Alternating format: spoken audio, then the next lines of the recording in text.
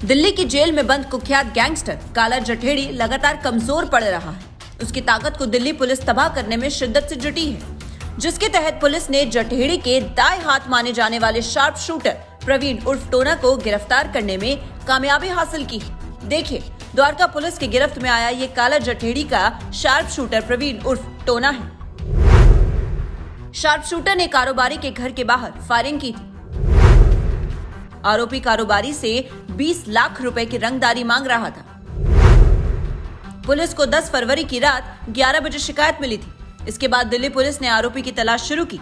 इस दौरान 14 फरवरी को पता चला कि शार्प शूटर टोना झज्जर में रेलवे लाइन के आसपास मौजूद है।